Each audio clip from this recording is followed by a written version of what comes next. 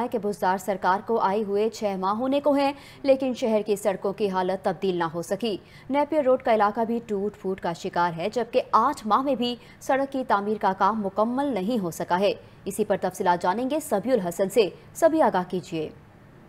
جی اس وقت nappy road کے قریب موجود ہوں اور اس روڈ کو تھورٹن روڈ کہا جاتا ہے۔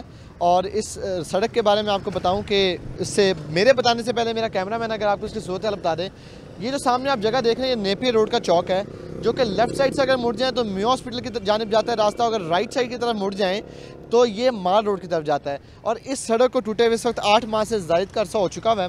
اور سڑک کو جو کھودا گیا تھا، وہ سیوریج کے نام پہ کھودا گیا تھا کہ سیوریج کے پائپ ڈالے جانے ہیں۔ تو نہ ہی سیوریج کے پائپس ڈلے یہ کیمرہ مین رافی دکھائے گا۔ اس سڑک کی یہ صورتحال ہے۔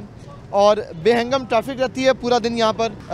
روڈ کو بنانے کے لیے ابھی تک کوئی اقدامات نہیں کیے گئے، نہ ہی اس ٹریفک کو ختم کرنے کے لیے، نہ ہی یہاں کی صورتحال کو بہتر بنانے کے لیے کوئی حالات جو ہیں وہ پیدا کیے جا رہے ہیں۔ بلکہ ایک ٹریفک وارڈن جو ہے وہ تعینات کر دیا ہے تاکہ جو روڈ کی ٹریفک کی جو صورتحال ہے اس کو تو بہتر بنایا جا سکے۔ لیکن جتنے بھی دفاتر ہیں یہاں پر، وہ لوگ جن کے سیکورٹی گارڈز ہیں، وہ انتہائی تنگ ہیں یہاں پر، کیونکہ ہر وقت ٹریفک جیم رہتی ہے۔ کہ یہ سو فٹ پرانی جو روڈ ہے، یہ سو فٹ کی روڈ ہے، جس کو جس پر صرف اور صرف اب پانچ سے سات فٹ ہی بقایا رہ گئی ہے، وہ بھی خستہ علی کا شکار ہو چکی ہے۔ یہ صورتحال ہے جس وقت تھوٹن روڈ پر ہم موجود ہیں اور آپ کو اس وقت سڑک کے حوالے سے آگاہ کر رہے تھے۔ جی۔ سبھی بہت شکریہ۔